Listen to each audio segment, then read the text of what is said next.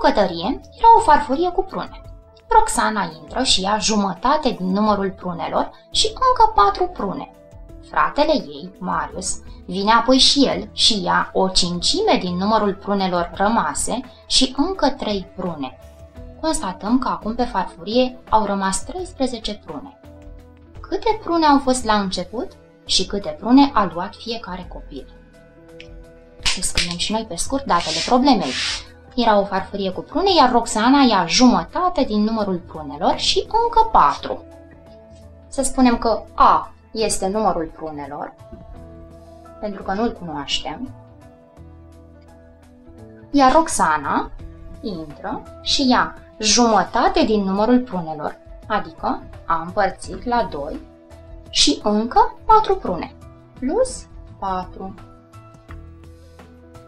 Mai apoi intră fratele ei, Marius, și ia și el o cincime din numărul prunelor rămase. Înseamnă că după ce Roxana a luat aceste prune, a rămas un rest pe care am vrea să-l notăm cu R1, primul rest.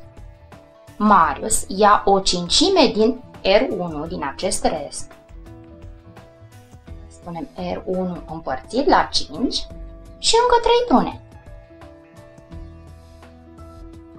Ne rămâne de data aceasta un rest 2, să-i spunem, R2, după ce vine Marius și ia și el partea sa de prune. Iar restul acesta este de 13 prune. Pe farfurie au rămas 13 prune. Problema ne cere să aflăm câte prune au fost la început, adică valoarea lui A, și de asemenea câte prune a luat fiecare copil, câte prune a luat Roxana și câte prune a luat Marius. Această problemă este o problemă tip. Se numește problemă ce se rezolvă prin metoda mersului invers, pentru că, iată, nu cunoaștem numărul inițial, numărul total al prunelor, însă cunoaștem restul, ultimul rest care este de 13 prune.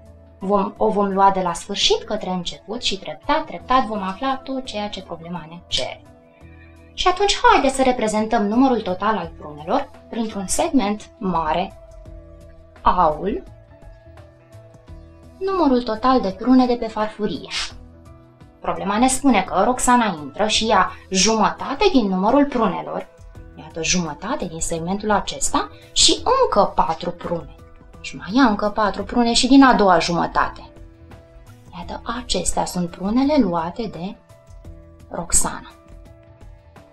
După ce Roxana a luat jumătate din numărul prunelor și încă patru, prunele rămase le-am notat cu R1, adică primul rest.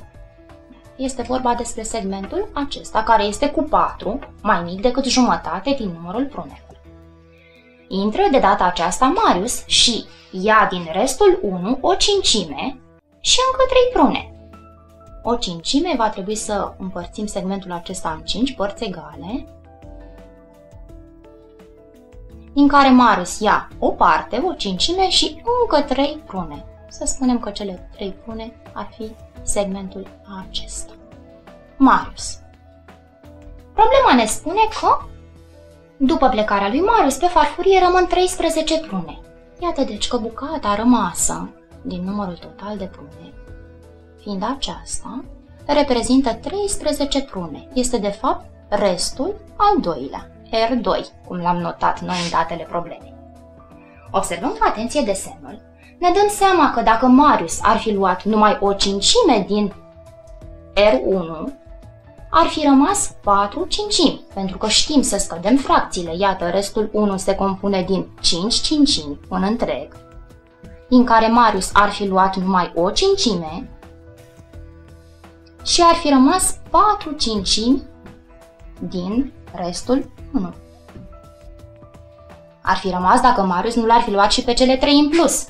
Și atunci, cele patru cincimi observăm că se compun de fapt din două bucăți. O primă bucată e reprezentată de cele trei prune luate de Marius în plus și încă cele 13 prune care au rămas pe farfurie.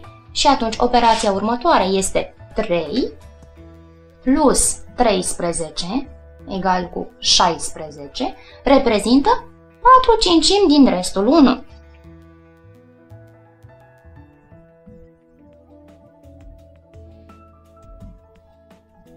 Știm cât reprezintă 4 cincimi, atunci o singură cincime, 16 împărțit la 4, că sunt 4 părți egale.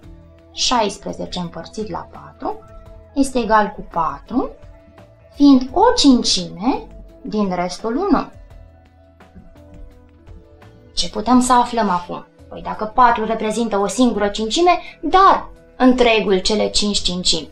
4 ori 5 egal cu 20 de prune, restul 1.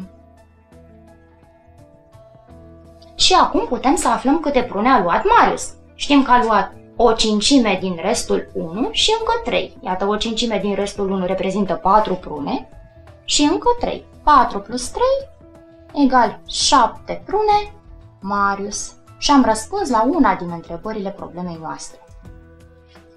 Mergem mai departe. Am aflat valoarea restului 1, care este de 20 de prune. Haideți să o scriem și noi la locul său aici.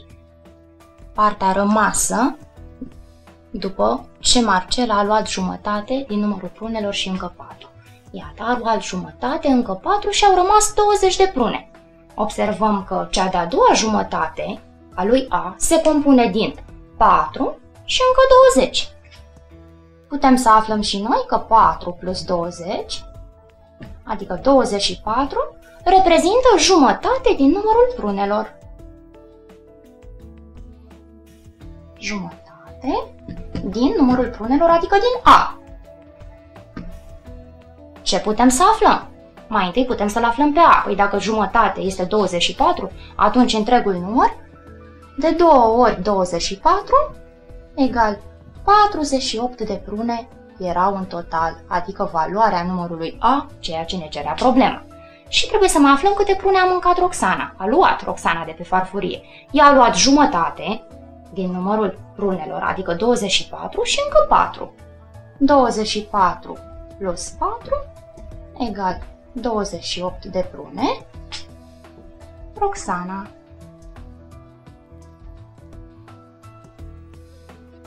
Putem să verificăm, să vedem dacă am răspuns corect la toate cele trei întrebări.